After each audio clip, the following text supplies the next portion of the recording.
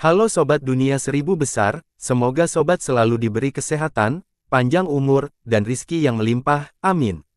Sebelum masuk ke alur ceritanya, jangan lupa dukung channel ini ya dengan klik subscribe, like, komen, dan share, terima kasih. Mari kita lanjutkan perjalanan, Li Qiye. Si Wawa sangat teliti dalam pencariannya, seperti seorang ibu yang sedang melihat buah-buahan di pasar. Ia mengambil sebuah batu dan mengetuknya pelan-pelan untuk mendengar bunyinya. Ini tampaknya menjadi metode pemilihannya. Dia tidak melewatkan satu poin pun saat Li Qiye mendekat untuk melihatnya. Kamu sedang menyiapkan makanan. Tanya Li Qiye. Ya, anginnya datang jadi aku butuh makanan. Wawa mengangguk dengan manis. Mereka yang tidak tahu tentang golem akan terkejut. Bagaimana mungkin seseorang bisa memakan batu dan kerikil? Yang ini pasti baik-baik saja. Li Qiye dengan santai mengambil sebuah batu dan melemparkannya ke batu yang lebih besar di sungai. Benar, Wawa tetap ragu setelah melihat batu itu. Coba saja, Li Qiye tidak keberatan. Wawa mengambil batu itu. Ukurannya sebesar semangka, cukup berat. Dia mengetuknya sebelum mencondongkan tubuhnya sehingga telinganya menyentuh untuk mendengar gema. Sudah sekarang, dia tidak punya kesimpulan pasti. Cobalah sedikit. Li Qiye tersenyum. Oh, benar juga. Dia pikir dia bodoh dan membuka mulutnya untuk menggigit batu itu. Orang biasa akan menggigit beberapa giginya karena melakukan hal ini. Namun, Wawa berhasil menggigit batu itu dengan mudah. Potongan-potongan kecil pun berjatuhan. Dia bisa melihat bahwa lubang itu kosong dari tempat dia menggigitnya. Dia mengangkat batu itu dan cairan bening mengalir keluar dari lubang itu. Rumput hijau yang tampak seperti rumput laut juga mengalir keluar. Enak sekali. Wawa meminum cairan itu dan memakan rumputnya. Dia menepuk-nepuk bibirnya dengan puas dan berkata, sudah lama sejak terakhir kali aku mencicipi batu sebagus ini. Pasti dari sumbernya sendiri. Dia terus minum setelah itu, teguk demi teguk. Ada cukup cairan di dalamnya yang membuat perutnya tampak jauh lebih besar dari sebelumnya. Kamu mau? Dia pikir tidak sopan minum sendirian dan mendekat. Li Qiye tersenyum dan menerima batu itu. Dia mendongakkan kepalanya untuk minum. Cairan itu menyegarkan dan beraroma rumput laut, yang mampu menghilangkan dahaga. Dia meneguknya beberapa kali sebelum mengembalikan batu itu kepada Wawa. Kau benar-benar tahu cara memetiknya, apakah kau seorang tukang batu? Wawa menjadi semakin penasaran dengan Li Qiye. Tidak, tapi ini tidak sulit. Aku tahu seperti apa mereka setelah melihatnya. Li Qiye menggelengkan kepalanya. Benar, Wawa menjadi terpesona, mata hitam terbelalak. Golem seperti kita terlahir dengan pemahaman yang kuat tentang batu, tetapi kita masih perlu berlatih. Aku telah melakukan ini berkali-kali sejak muda, tetapi aku tidak dapat secara langsung memilih yang tepat dari sekumpulan batu yang tidak berguna. Ini sama sekali tidak sulit dipercaya. Li Qiye tersenyum dan mengatakan yang sebenarnya. Sayangnya, yang lain akan menuduhnya membanggakan diri karena membedakan batu-batu asli tidaklah mudah. Bahkan tukang batu terbaik pun tidak dapat melakukannya. Kau tahu itu. Wawa menjadi terkejut dan tidak mengolok-olok Li Qiye. Dia melanjutkan, baiklah, lihatlah, berapa banyak jawabanku yang benar. Itu, Li Qiye menunjuk batu lain di sungai. Wawa cepat berlari dan menggigitnya. Benar saja, cairan dan daging mengalir keluar dari lubang, memenuhi perutnya. Di sana, Li Qiye menunjuk lagi dan Wawa berlari ke arahnya. Ya, Li Qiye benar lagi. Wawa minum lebih banyak dan benar-benar yakin dengan kemampuan Li Qiye, kau hebat, kau benar-benar bisa tahu hanya dengan sekali pandang. Bahkan ahli batu tidak bisa melakukan. Ini, itu juga, Li Qiye membantu pemuda itu lagi. Wawa mengambil batu itu, namun, kali ini dia tidak menggigitnya dan menaruhnya di dalam kantongnya. Tepat di depan kakimu, Li Qiye melanjutkan. Wawa sibuk mengikuti instruksi Li Qiye dan memasukkan lebih banyak batu ke dalam kantongnya. Ia menemukan begitu banyak batu pada saat itu, tetapi untungnya, kantongnya cukup besar. Ada ribuan batu di tempat ini sehingga tidak perlu waktu lama sebelum kantong itu terisi penuh. Baiklah, baiklah, ini sudah seperti makanan untukku selama beberapa tahun, tidak perlu yang lain lagi. Wawa akhirnya menyerah. Li Qiye tersenyum dan berhenti. Wawa lalu mengambil beberapa batu secara acak dan mencoba memasukkan tenaga besar ke dalam kantongnya. Mengapa kamu menginginkannya? Itu bukan batu sumbernya. Li Qiye bertanya. Saya selalu menyukai batu. Saya mungkin bukan tukang batu dan tidak bisa membedakannya, tapi mengapa tidak mengoleksinya? Dia tersenyum kecut. Li Qiye tidak keberatan dengan hobi ini. Wawa menepuk tangannya lalu bertanya lagi pada Li Qiye, apakah kamu benar-benar bukan ahli tukang batu? Tidak, Li Qiye menggelengkan kepalanya. Itu lebih menakjubkan lagi, kamu sudah sangat ahli dalam hal itu, jadi apa yang terjadi saat kamu menjadi salah satunya? Kamu akan dapat melihat semuanya. Ucap Wawa kagum dan menjadi penggemarnya. Li Qiye terkekeh. Ini bukan masalah besar baginya. Mengapa kamu ada di Stonewin Canyon? Untuk mencari batu-batu suci. Kudengar kita punya satu di sini. Wawa bertanya. Tidak, saya hanya di sini untuk melihat-lihat. Stonewin Canyon seharusnya menjadi tempat paling indah di Stone Plateau, bukan? Kalau begitu, aku tidak boleh melewatkannya. Jawab Li Qiye. Baiklah, kata Wawa sebelum menatap langit, tetapi kamu memilih waktu yang salah. Angin bertiup kencang dan daerah kita saat ini adalah tempat yang paling berbahaya. Jelaskan, Li Qiye tersenyum. Jadi saat angin datang, seluruh ngarai akan ditelannya. Mereka akan mengubah semua makhluk hidup menjadi batu dan bebatuan, tidak peduli siapa atau apa pun itu atau seberapa kuat mereka, mereka akan membatu. Kami para golem selalu bersembunyi di desa kami saat mereka datang. Wawa menunjukkan ekspresi ketakutan. Memem, aku pernah mendengarnya sebelumnya. Korban yang membatu akan hancur berkeping-keping keesokan harinya. Li Qiye mengangguk. Benar, Wawa melanjutkan, jadi tahun lalu, sekelompok orang dari gerbang Yin yang datang dan tiba-tiba angin bertiup tepat di luar pintu masuk desa saya. Mereka hancur berkeping-keping keesokan harinya. Kekuatan yang sangat dahsyat. Li Qiye tersenyum sambil menatap ngarai itu. Itulah mengapa ngarai itu diberi nama ini. Kemudian, angin akan datang bersama kekuatan pembatu ini, tidak ada makhluk hidup yang dapat lolos darinya tanpa bersembunyi di tempat yang tepat. Fenomena ini membuat banyak orang ketakutan. Namun, para golem tetap memilih untuk tinggal di sini. Langit berangsur-angsur menjadi gelap seolah-olah awan hitam mulai menguasai. Si Wawa mendongak dan berkata, dia akan datang jadi aku harus pergi. Apakah kamu akan ikut denganku ke desa? Tentu saja, Li Qiye tersenyum dan mengangguk, juga menatap langit. Awan hitam perlahan menutupi dan menyebar di atas seolah-olah memiliki kesadarannya sendiri, mencoba mendekat ke dalam ngarai. Orang yang berpengalaman dan tidak menyadari fenomena ini tidak akan terlalu mempermasalahkannya. Sedangkan bagi mereka yang memiliki sedikit pengetahuan atau orang-orang yang tinggal di sekitar tempat ini, mereka langsung tahu bahwa bahaya sedang datang. Hal yang paling bijaksana untuk dilakukan saat ini adalah meninggalkan ngarai atau bersembunyi di desa. Jika tidak, mereka akan menemukan bahwa melatih mereka dengan kuat tidaklah berguna. Angin pembatuan tidak dapat dihentikan. Semua penduduk di ngarai itu, baik manusia maupun golem, tua maupun muda, laki-laki maupun perempuan, semuanya berlari menuju desa terdekat. Sekarang, kencangkan sekali anginnya. Orang-orang mulai berteriak dan menghentikan kegiatan mereka. Cepat atau kita akan terlambat. Si Wawa mulai berlari menjauh tetapi melihat Li masih duduk di sana. Dia menjadi khawatir. Li tersenyum dan menyusul. Siapa namamu? Tanya pemuda itu ketika mereka berlari pergi. Tuan muda, Li Qiye terkekeh. Baiklah, Wawa tidak berpikir dua kali tentang hal itu. Desanya tidak jauh, jadi mereka tiba dalam waktu singkat, tidak ada suara apa pun, tidak ada gonggongan anjing atau suara ayam berkokok, tidak ada orang juga. Ribuan rune pada pilar batu di depan telah terhubung bersama pada titik ini. Tiba-tiba, rune-rune itu mulai mengalir turun langsung ke lumpur. Rune-rune itu nampaknya ingin mencapai dasar bumi, mengalir turun seperti air terjun. Ini bukanlah pemandangan yang mengejutkan di ngarai tersebut karena setiap desa memiliki pilar seperti ini. Bahkan, keberadaan pilar tersebut sangat penting sebelum memulai sebuah desa. Mustahil untuk memulai sebuah desa atau sekte di ngarai ini tanpa memiliki satu pilar pun. Li Qiye tersenyum setelah melihatnya. Ini bukan pertama kalinya baginya. Namun, dia tidak melihat banyak hal lain.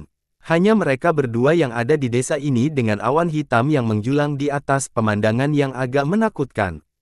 Hal ini tentu saja tidak membuat Li Qiye takut saat dia berjalan santai. Rumah-rumah di sini memiliki gaya arsitektur unik yang hanya ditemukan di Ngarai. Rumah-rumah itu kecil dan pendek, semuanya terbuat dari batu dan bebatuan. Di tengah desa terdapat sebuah patung humanoid besar. Dilihat dari ekspresinya, patung itu tampak sedang menunggu sesuatu sambil melindungi desa. Entah karena faktor usia, namun patung tersebut sudah tidak lagi memiliki ciri-ciri yang jelas, terutama wajahnya. Ada beberapa batu dengan ukuran dan bentuk yang berbeda-beda di sekitar patung. Selain itu, batu-batu tersebut memiliki tingkat kedalaman yang berbeda-beda. Beberapa batu terkubur setengah sementara yang lainnya runtuh. Si Wawa membawa Li Qiye ke patung itu terlebih dahulu. Ia membungkuk ke arah patung itu dan mengambil sebuah batu, memotongnya, lalu menuangkan cairan itu ke batu-batu di sekitarnya. Paman buyut dan semuanya, waktunya makan. Ini jamuan dari si Wawa. Kata Wawa dengan sungguh-sungguh, tidak ada pembicaraan yang agak kekanak-kanakan tetapi ia memasang ekspresi serius, mirip dengan anak dari keluarga miskin yang seharusnya menjadi kepala keluarga sejak dini. Sementara itu, Li Qiye menyaksikan dengan tenang dan menunggu pemuda itu selesai. Begitu Wawa selesai, dia menunjuk batu yang paling dekat dengannya dan memperkenalkan, ini ibuku, itu paman buyutku, dan itu pamanku yang tertua. Dia mengingatnya dengan jelas dan dapat membedakan segalanya. Li Qiye tersenyum dan mengangguk sambil mendengarkan. Mereka yang tidak dari ngarai akan merasa ngeri, terutama di saat-saat gelap ini. Tentu saja, Li Qiye sama sekali tidak terkejut saat melihat batu-batu itu. Pop adalah orang terakhir yang meninggalkanku. Wawa sama sekali tidak bersedih. Sebaliknya, dia tampak sedikit gembira ketika berbicara, saya khawatir aku sendirian jadi dia tinggal lebih lama. Baru lima tahun lalu ia cukup percaya padaku untuk menjalani proses ini sepenuhnya. Pop lebih baik dari siapa pun, yang paling berbakat di desa kami. Dia adalah orang terakhir yang pergi tetapi sekarang dia bersembunyi jauh di bawah tanah. Seolah-olah Wawa sedang merayakan kenyataan bahwa ayahnya telah meninggal dan bersembunyi jauh di bawah tanah. Kenyataannya, atavisme tidak menyedihkan bagi para golem. Mereka bangga akan hal itu dan merayakan kehormatan ini. Menghilang sepenuhnya ke dalam tanah berarti dapat kembali ke sumbernya, sebuah cara untuk hidup selamanya seiring berjalannya waktu. Ini bukanlah keabadian sejati, tetapi tetap merupakan suatu bentuk eksistensi. Ada orang bijak dalam sejarah yang mengajarkan bahwa keabadian itu mustahil. Namun, ada dua metode lain untuk eksistensi yang berkelanjutan. Pertama, memiliki keturunan yang cukup. Kedua, biarkan reputasi dan kisah mereka diwariskan kepada generasi mendatang. Para golem berhasil menemukan metode ketiga, atavisme mereka yang dimulai oleh leluhur golem. Li Qiye tidak keberatan melihat batu-batu itu karena ini adalah pilihan para golem. Orang luar tidak bisa menghakimi mereka dengan cara apa pun. Ditambah lagi, tidak ada yang perlu dikritik, sungguh. Keberadaan yang berkelanjutan dalam arti lain masih mengalahkan segalanya. Setelah Wawa selesai memperkenalkan dirinya, Li Qiye bergeser menghadap patung itu. Wawa memperhatikan hal itu dan buru-buru berkata, ini adalah bapak leluhur kita. Kurasa Pop mengatakan padaku bahwa dia adalah bapak leluhur generasi kedua kita. Gaya hidup berurutan, Li Qiye berhenti melihat. Ya, kamu tahu tentang itu. Pop berkata bahwa leluhur generasi pertama kita hidup di era yang sama dengan leluhur golem. Dia sangat kuat dan kemudian, desa kita akhirnya memiliki keturunan yang lebih kuat yang mengambil alih tanggung jawab tersebut. Dia memilih jalan sudo atavisme dan tinggal di sini sementara leluhur generasi pertama menyelesaikan prosesnya. Wawa berbicara lalu membungkuk ke arah patung itu. Jenis suksesi ini umum di Stonewin Canyon dan bahkan di dataran tinggi. Banyak leluhur memilih jalur semu untuk melindungi keturunan mereka. Oleh karena itu, tidak ada yang berani meremehkan para golem meskipun populasi mereka terus menurun. Para golem sudo-atavisme yang tersisa sangat kuat. Nenek moyang kita begitu, begitu kuat. Wawa menatap patung itu dengan kagum. Benar, Li Qiye tersenyum. Setiap golem memiliki kesempatan untuk mencapai atavisme. Itulah soal pilihan hidup. Hal ini tidak berlaku untuk sudo-atavisme. Hal ini membutuhkan kekuatan yang sangat besar dan tingkat pelatihan yang tinggi. Ini dapat dibandingkan dengan metode penyegelan ras lain agar leluhur mereka yang kuat dapat bertahan lebih lama. Tentu saja, ini bahkan lebih ajaib dan efektif. Meski begitu, kebangkitan bukanlah hal yang mudah. Mayoritas ahli sudo atavisme tidak akan terbangun tanpa alasan. akan menjadi lebih sulit untuk kembali ke keadaan tidak aktif mereka. Beberapa harus membayar harga yang mahal. Wawa menunjukkan rasa hormatnya kepada seniornya lalu membawa Li Qiye ke rumahnya. Dialah satu-satunya yang belum mencapai atavisme di seluruh desa. Jadi, dari sudut pandang manusia, dialah satu-satunya yang masih hidup. Kamarnya sangat sederhana, hanya berisi barang-barang penting. Saya menjaganya agar tetap bersih. Setelah mempersilakan Li Qiye masuk, ia menyiapkan makanan untuk tamunya, hidangan hangat berupa nasi dan daging babi asin. Aku jarang makan nasi, jadi aku tidak punya makanan enak. Dia mengusap kepalanya dengan dingin, merasa tidak enak karena Li Qiye telah memilih begitu banyak batu untuknya. Tidak apa-apa, Li Qiye tersenyum. Dia masih bisa menikmati makanan sederhana tanpa masalah. Wawa tidak tertarik dengan makanan ini dan duduk di sebelahnya, menatap Li Qiye dengan dagu bertumpu di tangannya. Tuan muda, mengapa Anda tidak menjadi tukang batu saja karena Anda bisa mengenali batu dengan sangat baik? Rasa saya sebagai ahli tukang batu dari sekte besar tidak bisa dibandingkan dengan Anda.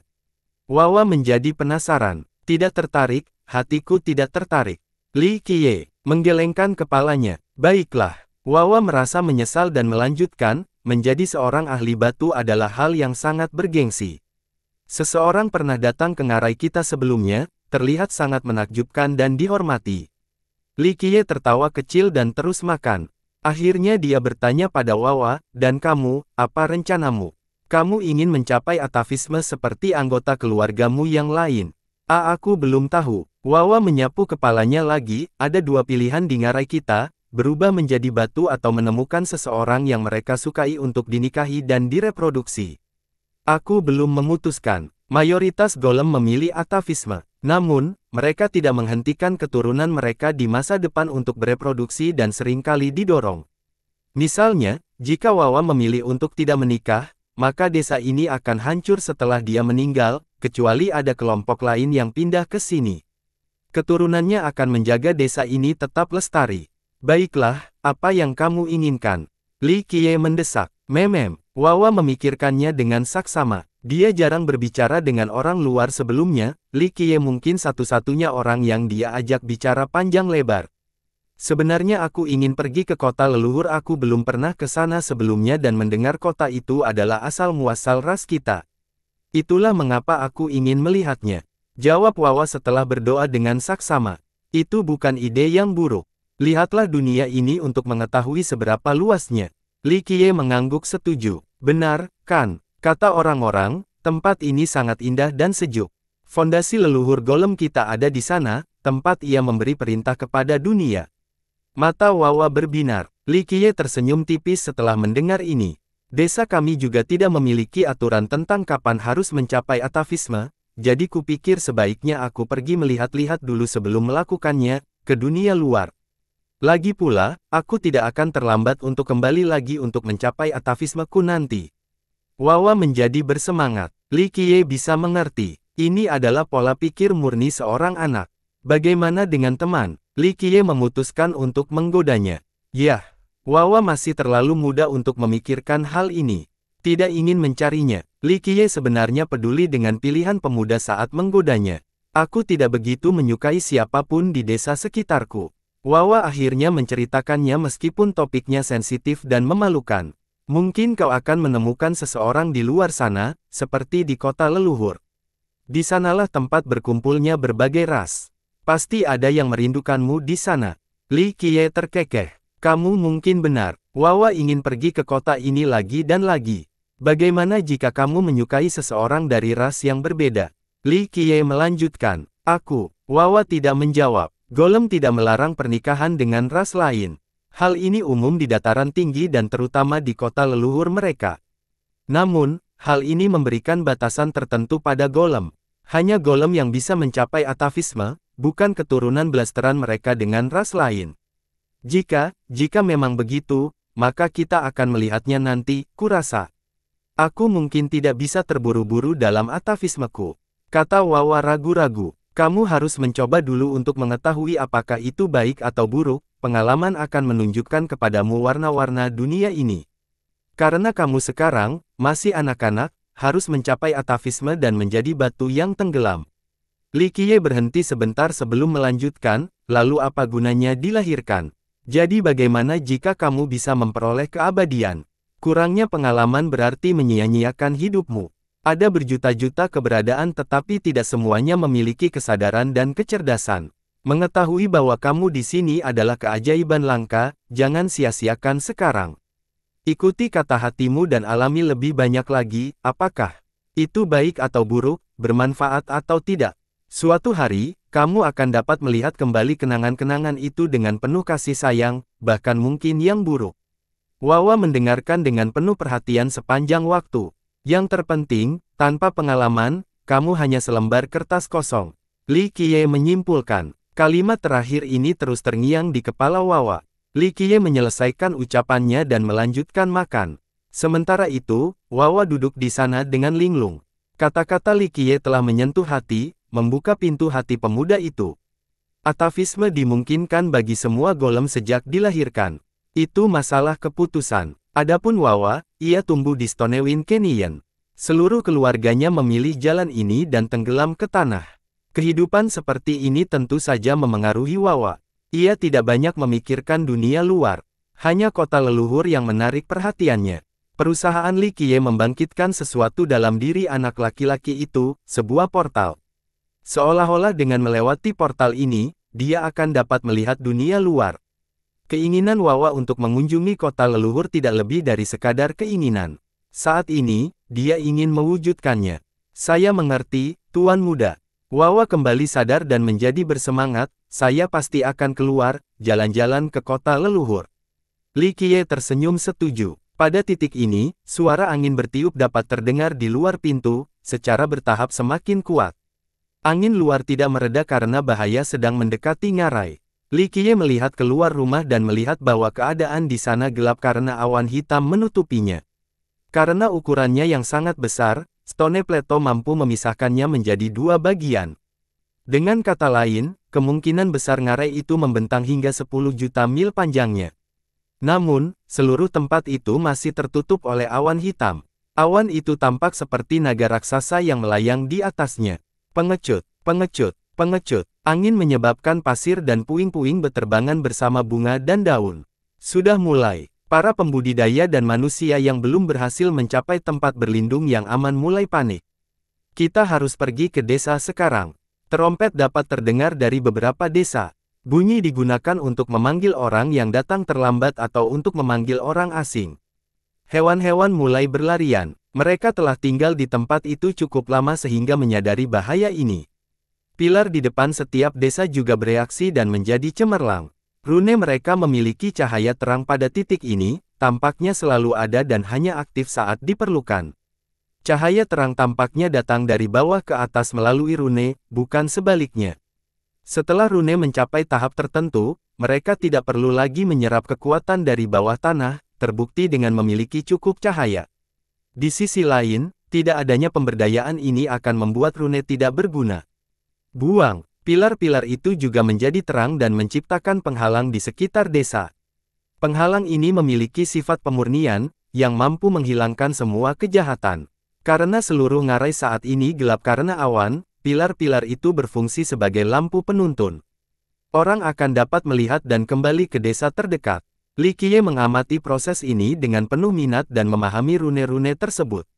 Biasanya, bahkan master terhebat pun akan kesulitan memahaminya.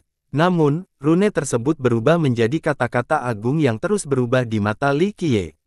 Rune tersebut mengalir dari pilar hingga ke tanah. Dia bisa melihat apa yang ada di bawahnya, urat nadi agung yang tak terlihat seperti naga yang sedang tidur. Kekuatan agungnya mengalir dalam keheningan di bawah bumi. Rune-rune tersebut terjalin bersama untuk membentuk hukum dan mulai mengalir bersama urat nadi yang agung. Ingat, ngarai itu memiliki Pilar-pilar yang tak terhitung jumlahnya. Ketika pilar-pilar itu terhubung dengan urat nadi yang agung di bawahnya, hal ini memuncak menjadi formasi agung yang tiada taraf.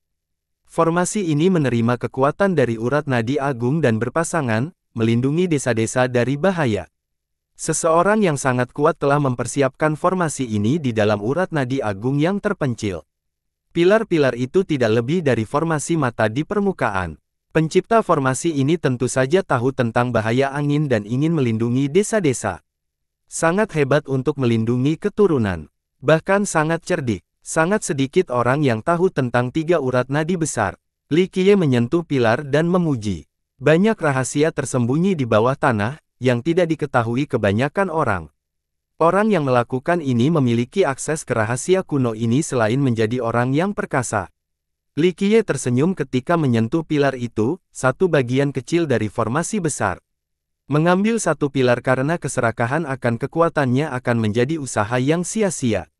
Legenda mengatakan ini ditinggalkan oleh leluhur golem kita. Si Wawa berbicara dengan bangga, leluhur agung telah menciptakan sebuah kerajaan di dataran tinggi dan meninggalkan pilar-pilar di ngarai untuk menghentikan angin yang menakutkan.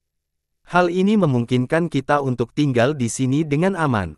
Kebanggaannya bisa dimengerti. Seluruh rasnya juga merasakan hal yang sama terhadap leluhur golem. Mereka memujanya. Dia juga salah satu penguasa dunia yang terhebat. Wawa melanjutkan, dia belum banyak melihat dunia, hanya mendengar tentang eksploitasi leluhur golem, cukup untuk mengingat semuanya. Benar-benar orang yang luar biasa. Li Qiye mengangguk. Kadang-kadang dia juga tidak masuk akal dan tidak dapat diandalkan, pikirnya. Luhur golem tentu saja telah meninggalkan jejak dalam ceritanya, hanya saja bukan identitas aslinya, kecuali Li Qiye. Black Duck mungkin telah menyembunyikan asal-usulnya dengan cukup baik, tetapi itu tidak cukup. Terlepas dari seberapa berhati-hatinya dia, masih ada petunjuk yang hanya akan menuntunnya. Hal ini memungkinkan Li Qiye untuk menghitung identitas dan asal-usul orang tersebut yang sebenarnya. Pada titik ini, angin telah berhenti dan ngarai menjadi tenang kembali. Dia datang, jangan terlalu dekat. Si Wawa berkata pelan pada Li Qiye sambil mundur dengan hati-hati, masih mengawasi ke arah luar. Ini tidak ada hubungannya dengan pengecutan. Kenyataannya, setiap orang harus berhati-hati saat berhadapan dengan pembantai berbahaya yang ditemukan di sini. Anehnya, mereka juga memiliki rasa hormat terhadapnya. Ini bisa dianggap sebagai naluri yang tertanam dalam jiwa mereka. Perkembangan selanjutnya adalah kabut menyebar dengan cepat. Kabut itu menutupi seluruh ngarai dalam waktu singkat, kegelapan tertentu menguasai. Seseorang tidak akan dapat melihat tangan mereka di depan mereka meskipun tidak ada kegelapan total. Ini adalah perasaan yang aneh. Itu akan datang. Wawa mengingatkan Li Qiye. Ledakan, ledakan, ledakan. Serangkaian suara pelan hanya dapat didengar oleh pendengar yang penuh perhatian. Awalnya, suara-suara itu terdengar seolah-olah berasal dari jauh. Akan tetapi, setelah mendengarkan dengan saksama, suara-suara itu seharusnya berasal dari bawah tanah. Ledakan, ledakan, ledakan. Sebuah kekuatan misterius mengumumkan ngarai itu. Kokok, seekor katak yang tidak tahu apa-apa melompat keluar dari lubangnya ke sebuah batu di dekat pintu masuk desa. Berdengung, ia langsung berubah menjadi batu dan berhenti bergerak, mirip seperti hancurnya oleh suhu dingin yang ekstrim. Ia masih memiliki postur melompat dengan kaki kanan terangkat. Kaki kirinya tidak dapat menyentuh tanah sebelum membatu. Itu dia. Si Wawa bertanya pada Li Qiye lagi, jangan tinggal di dekat pintu masuk, kekuatannya mengerikan. Dia kemudian pindah kembali ke desa. Ini bukan pertama kalinya dia melihat fenomena berbahaya itu. Sayangnya, rasa takut masih menghantuinya setiap kali. Dia kembali ke rumah dan hanya menggeser kepalanya ke pintu luar untuk melihat-lihat. Li Qiye tetap berdiri di dekat pintu masuk untuk merasakan kekuatan misterius dalam kabut. Cepat kembali ke sini, teriak Wawa. Semua orang di ngarai itu bersembunyi di rumah mereka sendiri. Itulah satu-satunya cara untuk menjamin keselamatan. Melangkah keluar dari desa berarti kematian yang pasti. Ledakan, ledakan, ledakan. Suara-suara itu mendekat seperti bisikan yang tidak jelas. Itu menyerupai sebuah dao agung kuno yang berseru di telinga seseorang, sejenis mantra yang berharap agar seseorang memahaminya. Li Qiye mendengarkan dengan saksama. Ledakan, ledakan, ledakan. Semua orang dapat mendengar suara itu meskipun sangat pelan. Ada irama yang tidak diketahui dari zaman dahulu. Mereka ada di sana, pintu masuk. Kembalilah ke rumah atau kau akan takut. Si Wawa panik. Li Qiye tidak memperjelas peringatannya. Pada titik ini, yang terlihat hanya kabut di luar pintu masuk, tidak ada yang lain. Pilar itu menjadi lebih terang dan memancarkan lebih banyak sinar untuk memperkuat penghalang di sekitar desa. Ini tampak seperti percikan api yang tiba-tiba keluar dari lampu terang. Mereka ada di sana. Reaksi pilar itu memberitahu Wawa apa yang sedang terjadi. Dia bersembunyi di dalam ruangan. Ledakan, ledakan, ledakan. Li Qiye mungkin mendengar suara ini sejelas mungkin. Tidak ada keajaiban dan keilahian, tetapi tiba-tiba muncul kekuatan yang paling agung. Kekuatan ini dapat menghancurkan langit. Namun, kabut tetap mengendalikannya, tidak membiarkannya meledak. Li Qiye terus merasakan kekuatan ini. Ini, ia menjadi terkejut karena kekuatan dan irama ini sangat familiar baginya. Sosok itu akhirnya muncul di balik kabut pengumuman, hampir tak terlihat. Sosok itu tampak melompat maju. Satu sosok muncul lagi tak lama kemudian, lalu satu lagi, lalu satu lagi. Sosok ini bergerak terlalu cepat sehingga tak seorang pun dapat mengetahuinya.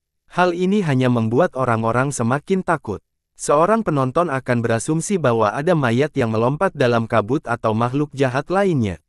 Kurangnya identifikasi memunculkan berbagai penjelasan tentang kabut tersebut. Salah satunya mengatakan bahwa makhluk jahat dalam kabut tersebut sedang mencari makanan. Tetapi mengapa terjadi pembatuan? Karena makhluk-makhluk jahat ini segera menyedot jiwa dan esensi korbannya, meninggalkan cangkang batu yang kosong. Teori lain menyatakan bahwa kabut tersebut berasal dari lubang dunia yang mengerikan dengan kehidupan yang mengerikan. Sayangnya, makhluk-makhluk ini tidak dapat melewati lubang ini. Mereka hanya dapat menyebarkan kabut untuk menghisap saripati kehidupan dari dunia ini.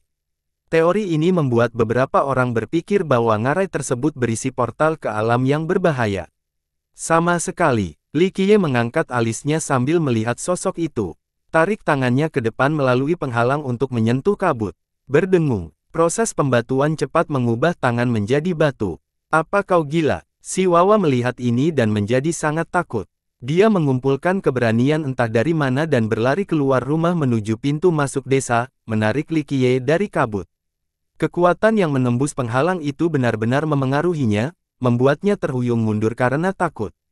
Meskipun demikian, dia tidak melepaskannya dan terus menarik Likie kembali. Apa, apa yang kau mau mati? Dia sangat marah dan berteriak pada Likie, lakukan itu lagi dan monster di sana akan memakanmu. Likie tersenyum dan menatap. Tangan batunya, tidak, tidak, tidak. Tanganmu sudah tak bisa menyembuhkannya, tidak ada yang bisa menyembuhkan pembatuan ini, bahkan alkemis terhebat sekalipun.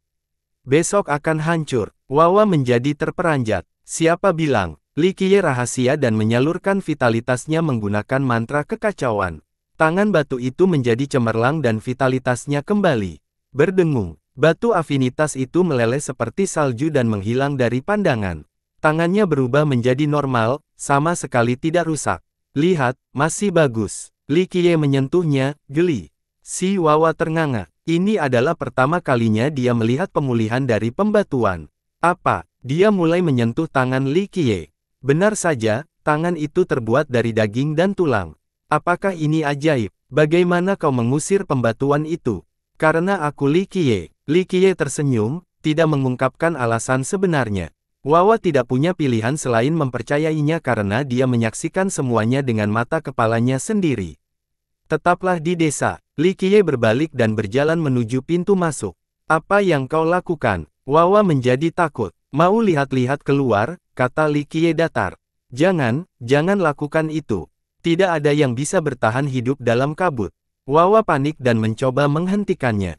Li Qiye telah melangkah keluar desa dan memasuki kabut sebelum si Wawa dapat menyelesaikan perkataannya.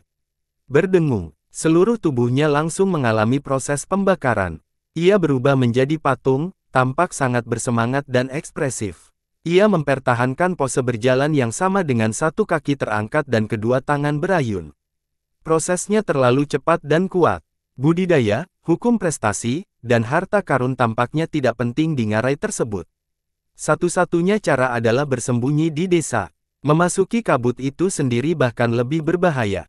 Dalam sejarah, banyak ahli telah mencoba mempelajari kekuatan misterius ini tetapi tidak berhasil, tidak seorang pun dapat memperoleh atau memahaminya. Tidak, teriak si Wawa setelah melihat Li Qiye menjadi lemah. Ia bergegas menghampiri, tetapi berhenti di pintu masuk setelah menenangkan diri. Ia tahu bahwa itu akan sia-sia dan ia akan mengalami nasib yang sama. Emosinya hampir menguasainya sebelumnya. Untungnya, dia berhenti tepat pada waktunya. Dia sudah selesai. Wawa menggelengkan kepalanya. Satu-satunya hal yang bisa dia lakukan sekarang adalah menunggu dan mengambil mayat Likie besok. Hanya akan ada sedikit bubuk yang tersisa. Berdengung, harapannya dihianati oleh apa yang bisa digambarkan sebagai keajaiban. Sebuah cahaya terpancar dari Li Qiye. Cahayanya tidak terlalu terang, tetapi masih dapat menembus lapisan luar batu dengan mudah.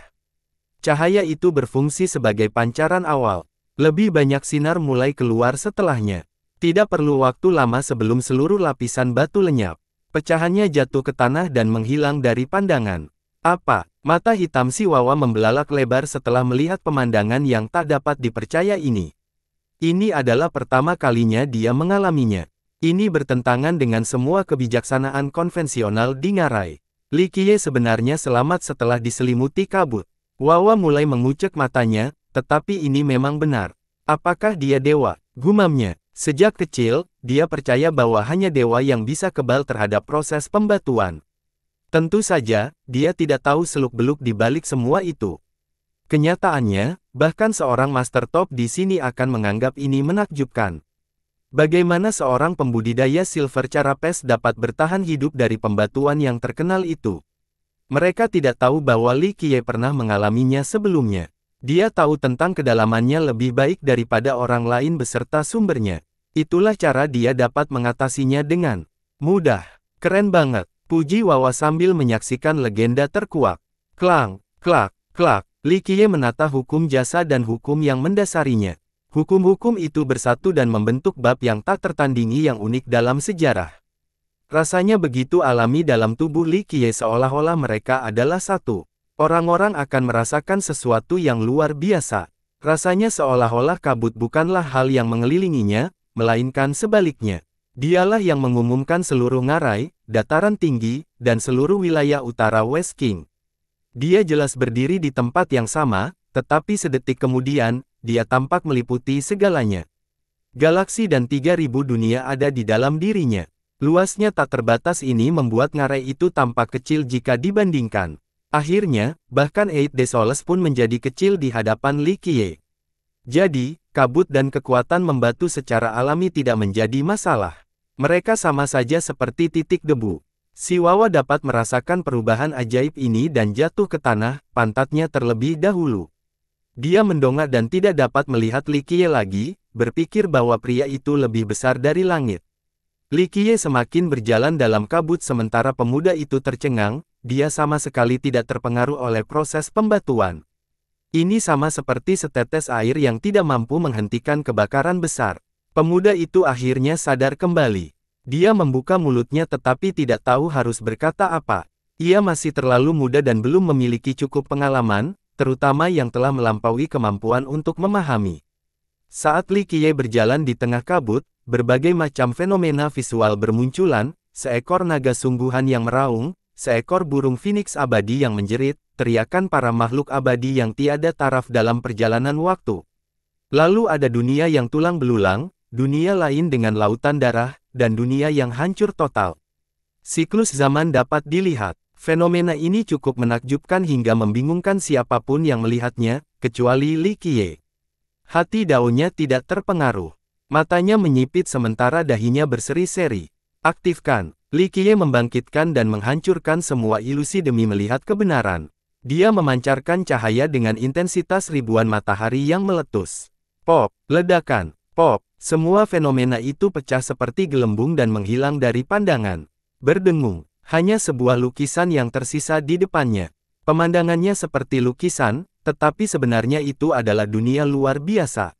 Auranya agung dan penuh dengan kekuatan hidup. Ras-ras berkembang dengan sekte-sekte terlatih yang saling bersaing, zaman keemasan yang sesungguhnya. Miliaran makhluk hidup dapat memiliki masa depan yang cerah di sini, semua hal yang mungkin terjadi.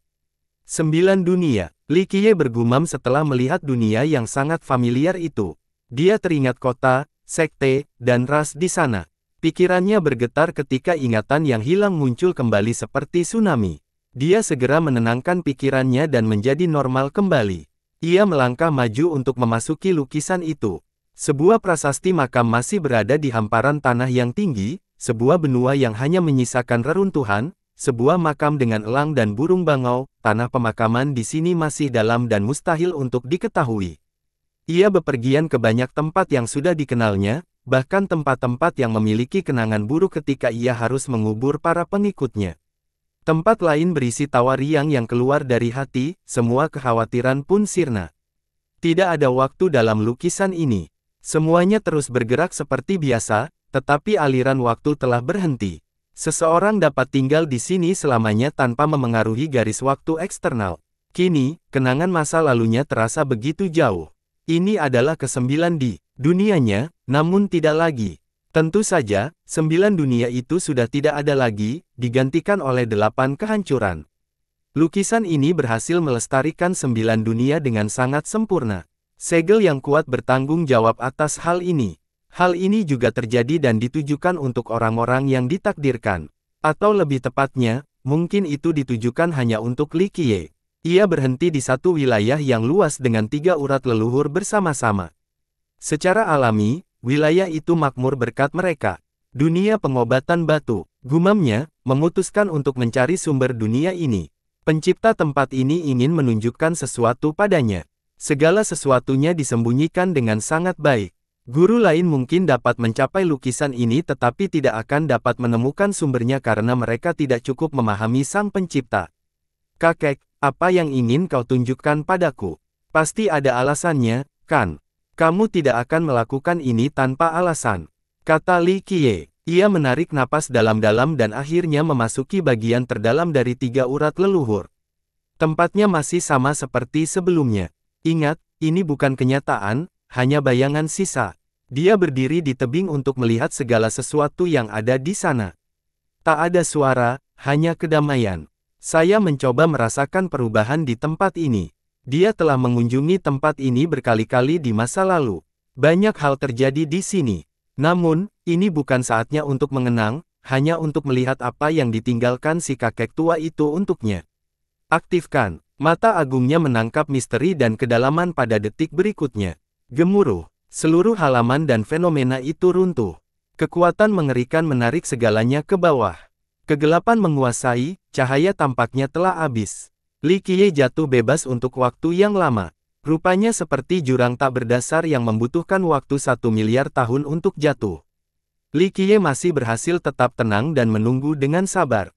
Siapa yang tahu berapa lama ini berlangsung? Ledakan. Semuanya tiba-tiba berhenti bersamaan dengan jatuhnya Li Qiye. Ia melayang di udara dan melihat pintu masuk yang dipenuhi cahaya. Cahaya ini agak redup. Di sana tampak seperti alam lain, tampak kabur dan samar. Matanya memancarkan seberkas cahaya untuk menembus pintu masuk. Sayangnya, bahkan kemampuan pemindaiannya tidak dapat melihat situasi di dunia seperti itu. Gambar rekamannya tampak tidak lengkap. Hal ini membuatnya mencoba lagi berkali-kali untuk mengumpulkan semua detail kecil. Dia tidak ingin melewatkan satu pun karena jawabannya tersembunyi di mana-mana. Akhirnya, setelah sapuan yang tak terhitung jumlahnya, dimensi itu meletus seperti gelembung. Dia mendapati dirinya berdiri di tebing yang sama. Halamannya masih utuh. Di bawah tebing itu, hanya ada kegelapan. Dia mulai berpikir, sepertinya kau mengerti maksudku. Li Qiye berkata, meninggalkan wujud asli ini untuk kulihat, mengetahui bahwa aku akan kembali hidup-hidup. Kali ini tak terdengar jawaban dari tebing, hanya heningan yang menyeramkan. Li Qiye tahu bahwa sesuatu telah terjadi di sini dan orang tua itu ingin memberitahunya. Saya akan menyelidiki sampai tuntas, yakinlah. Surga yang jahat tidak melakukan hal ini, begitu pula iblis-iblis itu. Mereka tidak punya kemampuan. Dia terdiam beberapa saat sebelum berbicara lagi. Pada titik ini, tidak ada yang bisa menghindar darinya.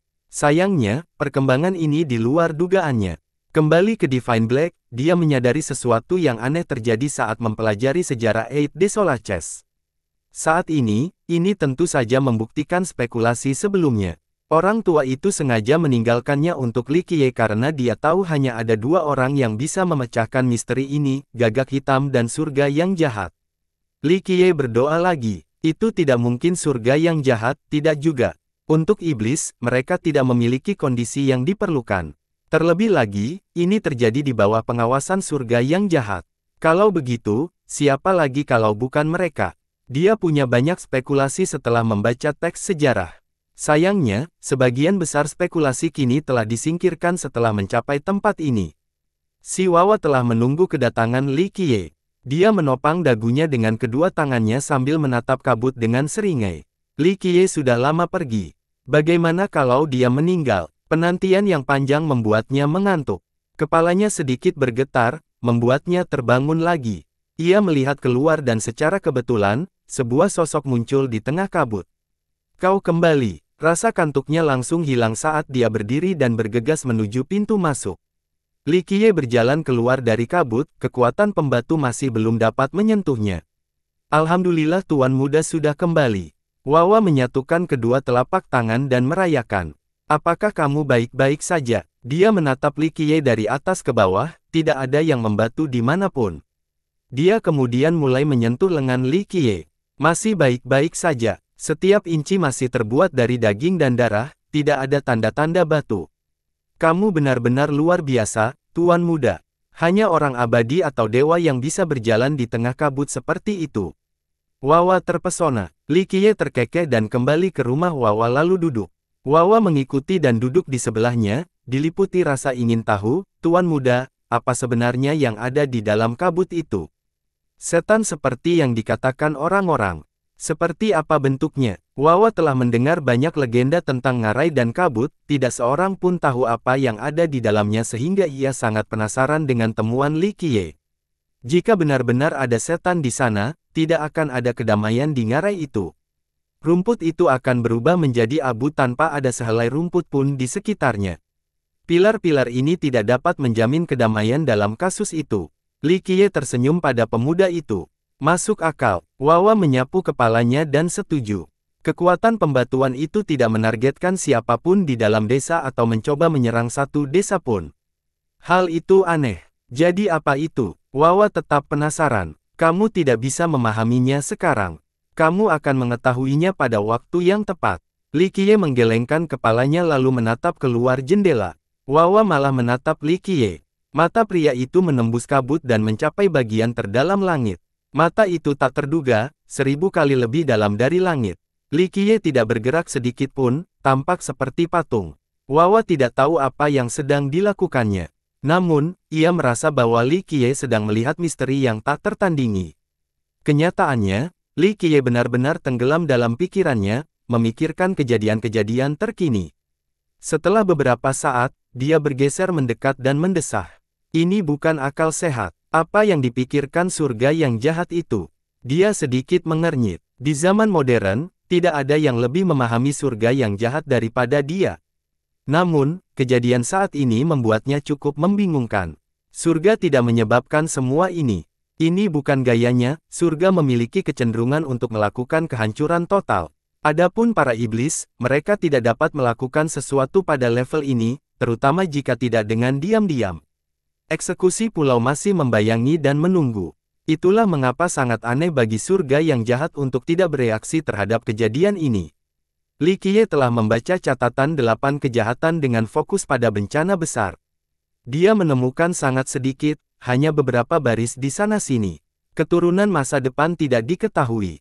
Jika bangka Anda telah meninggalkan sesuatu yang paling akurat berupa berbagai gambar, yang ditujukan khusus kepada Li Qiye, Sayangnya, semuanya tiba-tiba berhenti setelah cahaya itu muncul. Jika Anda seorang bangka, Anda tidak memberikan petunjuk apa pun tentang hal ini. Si kakek adalah orang yang paling licik di antara segalanya. Sesuatu yang tidak terduga pasti telah terjadi agar pesan itu berhenti. Li Qiye harus memikirkan semua kemungkinan, jutaan jalur potensial terlintas di kepalanya. Sesinya terganggu oleh sinar matahari. Ia melihat keluar dan melihat kabut telah hilang. Pilar itu juga tidak lagi terang. Semuanya kembali normal seperti sebelumnya. Suara anjing dan ayam terdengar dari beberapa desa. Penduduk desa mulai bekerja lagi. Si Wawa juga sibuk menyiapkan makanan untuk Li. Sayangnya, dia sendirian di sana dan tidak punya makanan enak. Apakah kamu akan pergi ke kota leluhur sekarang? Li bertanya setelah menyelesaikan sarapannya yang sederhana. Aku, Wawa ragu-ragu, karena sebelumnya dia belum pernah meninggalkan rumah dan pergi ke tempat yang jauh seperti ini. Aku akan tinggal di sana sebentar, jadi kalau kau ingin pergi, kita bisa pergi bersama. Kata Li Qiye, menyerahkan pertemuan mereka pada takdir. Benar, Wawa sangat gembira, dia sudah percaya penuh pada lelaki ini meskipun dia baru saja bertemu dengannya. Ya, aku mulai sekarang, tidak akan semudah itu jika pergi sendiri nanti. Li Qiye mengangguk. Baiklah, Wawa menyapu kepalanya dan setuju lagi. Dia masih muda tanpa pengalaman bepergian. Dia benar-benar gugup memikirkan untuk pergi sendiri nanti, baiklah kalau begitu, aku akan pergi ke kota tua, Tuan Muda. Kesempatan langka ini menghilangkan banyak tekanan baginya. Saya pergi untuk mempersiapkan perjalanan dan tidak memakan waktu lama karena saya hanya membawa sedikit barang. Sebelum pergi, dia pergi ke area tengah bersama patung itu. Dia meletakkan kedua telapak tangannya dan berkata, Paman, Ibu, aku akan pergi bersama Tuan Muda ke kota tua dan akan segera kembali. Tunggu sampai aku kembali, aku akan belajar cara mencapai atavisme dan bergabung dengan semua orang. Dia berdoa dengan tenang. Sungguh menyedihkan karena dialah satu-satunya yang tersisa di desa itu. Dia tidak mengenal siapa pun di dunia ini. Tentu saja, para golem sudah terbiasa dengan kehidupan seperti ini. Wawa pergi dulu, tolong jaga desa ini, leluhur. Ia kemudian berbalik ke arah patung itu dan membungkuk. Patung itu tidak bereaksi. Kenyataannya, dia masih hidup karena dia masih dalam tahap semi. Siapa yang tahu kapan dia akan bangkit lagi? Li Qiye diam-diam melihat ke samping dan tidak mengomentari pilihan ras ini untuk bertahan hidup. Memang layak untuk direnungkan. Keduanya meninggalkan pintu masuk dan mendengar suara retakan. Katak yang kemarin hancur dan berubah menjadi bubuk. Mereka berhamburan ke tanah dan bercampur dengan lumpur dan tanah. Ini adalah pemandangan yang biasa di sepanjang jalan. Hewan-hewan yang terlambat kembali ke tempat yang aman menjadi sangat marah hari ini. Li Qiye dan Si Wawa meninggalkan desa dan bergerak melalui ngarai. Tempat yang biasanya sepi dan jarang dikunjungi. Hari ini tampak berbeda. Banyak pembudidaya yang menunggangi binatang buas mereka tiba. Yang lain mampu melompat sejauh seribu mil dengan setiap lompatan. Mereka terdiri dari manusia, golem, iblis Atina, setan. Mereka datang dari semua sekte dan kerajaan, gerbang cakrawala, rentang batu ilahi, bintang surgawi. Mereka akan pergi ke lembah Stonesel, kata si Wawa pelan sambil memperhatikan gelombang orang itu. Bahkan para golem dari desa pun ikut bergabung. Anak kecil, ini akan segera dimulai, kumpulkan barang-barangmu dan kita akan berangkat. Beberapa ahli golem siap membawa junior mereka untuk melihat kesenangan di atas panen potensial. Golem lain ingin menonton pertunjukan. Si Wawa melihat golem yang usianya hampir sama dengannya dan menjadi iri. Kamu mau pergi? Li Qiye menatap pemuda yang bersemangat itu dan berkata, Aku belum pernah ke sana sebelumnya karena ayah bilang tempat itu terlalu berbahaya karena kumbang di sana akan keluar dari tanah. Beberapa sumber batu dapat ditemukan sehingga akan bermanfaat untuk melakukan perjalanan. Hanya saja dia belum pernah membawaku ke sana sebelumnya. Wawa menunjukkan ekspresi sedih saat itu. Baiklah, kalau begitu kita akan pergi ke sana dan mengambil beberapa sumber batu di sepanjang jalan. Li Qiye tersenyum. Benar, ekspresinya langsung berubah menjadi kegembiraan, matanya berbinar. Lagi pula, itu sedang dalam perjalanan. Kata Li Qiye, sempurna, aku belum pernah melihat sebelumnya. Teriak Wawa, keduanya berubah arah dan menuju Stonesel Valley. Apakah kamu pernah ke sana sebelumnya? Wawa penasaran karena Li Qiye sepertinya tahu jalannya. Tidak, tetapi semua orang yang menuju ke sana, tidak perlu tahu ke mana.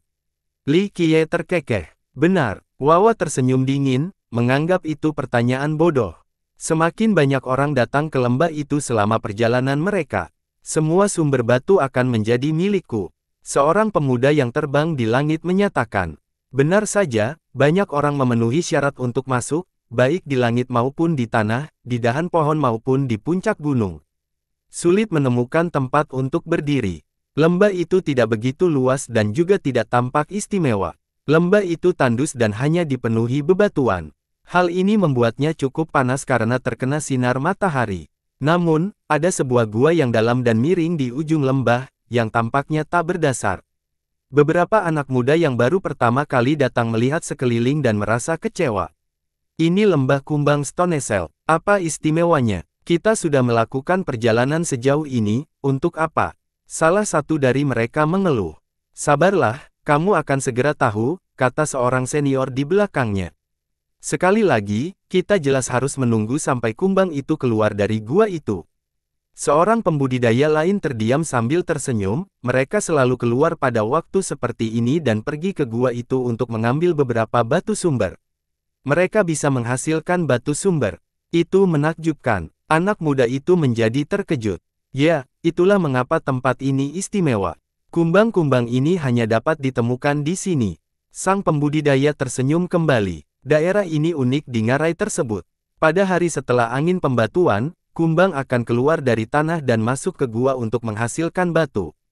Kenapa kita tidak masuk saja ke dalam gua itu kalau memang ada batu di sana? Pemuda lain menatap gua itu dan bertanya. Kedalamannya tak terbayangkan, sangat berbahaya juga. Rumor mengatakan bahwa semua bahaya di wilayah ini sebenarnya berasal dari sana. Seorang petualang tua berkata dengan ekspresi serius, seorang penguasa surgawi yang tak terkalahkan memasuki tempat yang sebelumnya pernah ditinggalinya, nyaris berhasil melarikan diri beberapa saat kemudian dengan luka di mana-mana. Pada hari kedua setelah kembali ke sekte, dia meledak dan meninggal. Semua orang terdiam menggigil setelah mendengar ini. Bahkan penguasa surgawi tidak dapat bertahan hidup. Apa yang ada di sana? Gua selama ini masih menjadi misteri. Satu-satunya konsensus bukanlah hal baik yang akan terjadi jika memasuki tempat itu. Hal ini mencegah petualang yang malas melakukannya. Jadi, mengapa kumbang-kumbang itu bisa masuk? Tanya yang lain dengan rasa ingin tahu. Itu sesuai dengan dao surgawi dan hukum penciptaan. Berbagai makhluk memiliki kecocokan yang berbeda kata seorang tokoh tingkat tua. Semua mata kini menyatakan tentang gua rahasia itu. Li Qiye juga meliriknya. Matanya yang terang dapat menjangkau area terdalam. Tentu saja, dia tidak akan turun sendiri. Kudengar Raja Kumbang itu sangat agung. Tahukah kau seperti apa rupanya, Tuan Muda? Si Wawa bertanya pada Li Qiye. Aku belum melihatnya. Li Qiye menggelengkan kepalanya. Sudah, Seorang pembudidaya tua di dekat mereka menghiasi jenggotnya dan tersenyum, kumbang cangkang batu ini semuanya memiliki warna yang sama, hanya warnanya yang berbeda. Ia memiliki warna keemasan dan dapat mengendalikan kerabatnya. Tidak hanya itu, batu-batu yang sumbernya luar biasa, bahkan tak ternilai harganya, imbu pakar lainnya. Ya, mereka selalu menjadi fokus utama. Banyak sekali orang yang menginginkannya. Satu orang lagi ikut bicara, matanya berbinar-binar, tampaknya sangat tertarik pada Raja Kumbang. Haha, kalau begitu memang dia cukup mampu. Anggota kerumunan lainnya tercengang, Raja Kumbang saja sudah cukup berbahaya, apalagi semua pesaingnya yang rakus. Semua orang menginginkan sumber batu itu, hanya untuk membuang nyawa mereka dengan sia-sia. Beberapa orang menjadi khawatir. Mereka memutuskan untuk pergi sehingga mereka mendapatkan batu itu alih-alih menjadi serakah. Mengapa? Karena batu sumber dari Raja Kumbang selalu menyebabkan pembunuhan. Orang-orang benar-benar bisa mencium bau darah setelah mendengarkan percakapan tersebut.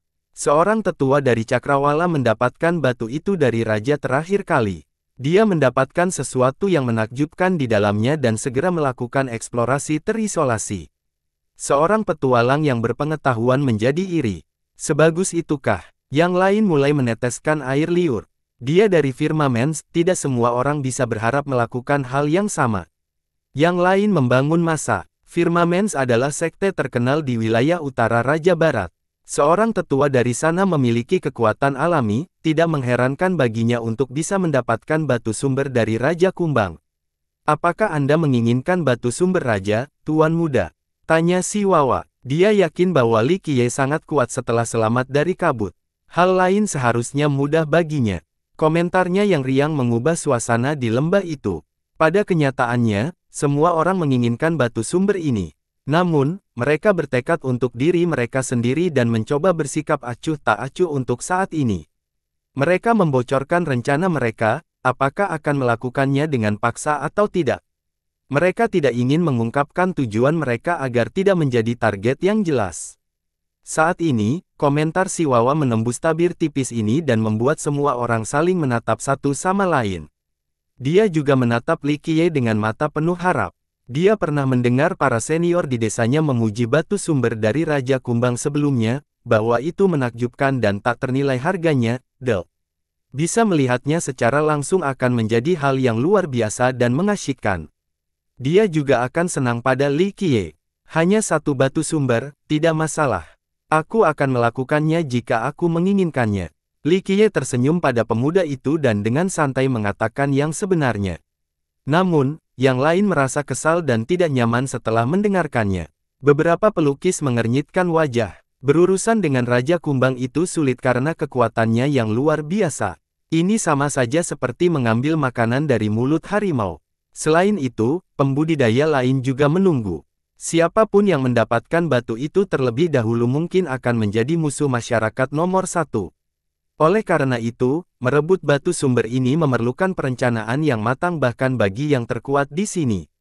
Saat ini, Li Qiye berbicara seolah-olah dia bisa meraih satu sama lain seperti membungkuk dan mengambil kerikil acak di jalan. Mereka merasa seolah-olah dia bersikap terlalu sombong dan menghina. Hem, aku juga cukup percaya diri. Seorang pakar di sini mengernyit. Tunggu saja dan lihat, masih terlalu dini untuk berbicara besar dan menyatakan kemenangan.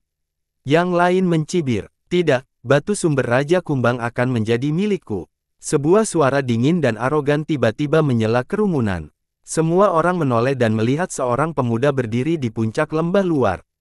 Lima leaki tua yang berdiri di belakangnya tampak sangat kuat karena mata mereka yang cemerlang, tentu saja mereka adalah pakar di antara para pakar. Pemuda itu tampak seperti burung bangau di antara kawanan ayam. Ia mengenakan jubah bersulam dengan naga asli bercakar empat. Kemuliaannya menurun dan terlihat jelas. Seorang pangeran dari Wu. Seseorang berkata pelan, penonton mulai menunjuk-nunjuk dan bergosip. Beberapa pakar menunjukkan kekhawatiran di wajah mereka saat melihat pangeran ini. Cabang gerbang Yin Yang, beberapa orang pernah mendengar tentang negara ini sebelumnya. Ini adalah negara besar dan perkasa di wilayah utara Raja Barat, cabang dari gerbang Yin Yang. Negara ini selalu mendapat dukungan dari raksasa ini sehingga menjadi sangat berpengaruh. Sangat sombong, Kebanyakan orang merasa kesal pada sang pangeran. Menyatakan hal ini di depan mereka yang menginginkannya merupakan tindakan yang sangat meremehkan, sebuah tantangan bagi banyak orang. Saudaranya memiliki posisi bertajuk di gerbang Yin Yang, dia dekat dengan Bai Jianchan. Kata seorang pakar yang berpengetahuan luas. Tuan Muda Bai, orang-orang menggigil setelah mendengar gelar ini karena saat ini sangat terkenal. Bai Jianchan dari gerbang Yin yang dikenal oleh semua orang di Raja Barat Utara. Orang-orang berkata bahwa gerbang Yin yang pasti akan memiliki seorang penguasa Dao generasi ini, dan generasi ini tidak lain adalah Bai Jianchan. Menyadari hubungan-hubungan kecil ini membuat beberapa orang menyerah. Pangeran Wu sudah dinobatkan sendiri atas kemauannya sendiri. Kakak laki-lakinya pasti akan menjadi orang penting di kemudian hari, karena dia berasal dari gerbang Yin Yang dan seterusnya. Ini terjadi sebelum disebutkan hubungan dekat antara saudaranya dan Bai Jianchan. Yang pertama mungkin menjadi tangan kanan Jianchan. Itu sudah cukup untuk membuatnya menjadi orang penting di Eight de Soles. Hal ini membuat siapa pun sulit untuk membenci Pangeran Wu. Terlebih lagi, orang-orang tua di belakang Pangeran Wu kuat. Dia sendiri tidak bungkuk. Tentu saja, saya tidak keberatan dengan sedikit kompetisi. Pangeran Wu tersenyum, matanya menyapu kerumunan dengan tatapan dingin. Penampilannya ini membuat semua orang merasa takut. Semua orang bisa melihat bahwa dia siap membunuh siapa saja yang mencoba bersaing dengannya untuk mendapatkan batu sumber milik Raja Kumbang. Matanya berhenti pada Li Qiye. Dia menyadari bahwa pria itu hanyalah seorang kultivator silver carapes dan mencibir, pencari kunang-kunang mencoba bersaing dengan bulan. Kebencian ini muncul karena komentar Li Qiye sebelumnya. Sayangnya, dia tidak peduli lagi pada orang lemah ini. Satu jari saja sudah cukup untuk membunuhnya. Li Qiye hanya tertawa kecil sebagai tanggapan. Lebih baik kau berhati-hati, kau adalah orang pertama yang ada dalam daftarnya, jadi aksinya dimulai. Seorang pemuda baik hati terhadap bayangan Li Qiye. Li Qiye meliriknya. Dia tampak berusia sekitar 18 tahun, penampilannya biasa saja tetapi juga terpelajar dan bersih, relatif rata-rata dalam hal pelatihan. Aku mengerti, Li Qiye tersenyum. Namaku Kingxi, bolehkah aku meminta namamu? Pemuda itu sangat antusias dan memperkenalkan dirinya. Li Qiye. Li Qiye menjawab tanpa melihat. Jadi, begitu, sudah lama tak melompat. Pemuda itu berpikir sejenak sebelum menjawab.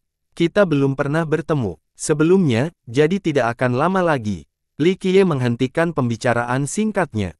Kau benar, pemuda itu tersipu, tidak menyangka akan ditegur karena berbasa basi. Li Qiye hanya tersenyum menanggapi. Seseorang seperti King Si tidak menarik perhatian, tidak ada orang lain yang meliriknya. Sudah waktunya, seorang ahli berpengalaman dari generasi terakhir menatap langit dan memperhatikan waktu. Berdengung, suara-suara kecil terdengar dari tanah. Pop, ledakan, ledakan. Kemudian, lubang-lubang tiba-tiba muncul di tanah berbatu di lembah itu. Serangga kecil menggali lubang-lubang kecil itu. Jumlahnya mencapai ratusan ribu. Antena bergerak maju mundur, cukup untuk membuat orang banyak ketakutan. Tumpukan batu akhirnya keluar dari lubang, memenuhi lembah sepenuhnya. Mereka yang belum pernah melihat ini sebelumnya menjadi takut dan merinding. Kumbang ini memiliki cakar dan kaki yang kuat dengan sepasang tanduk seperti bilah. Warnanya abu-abu. Jika mereka tetap berada di tanah tanpa bergerak, orang-orang mungkin mengira mereka adalah batu. Bersambung.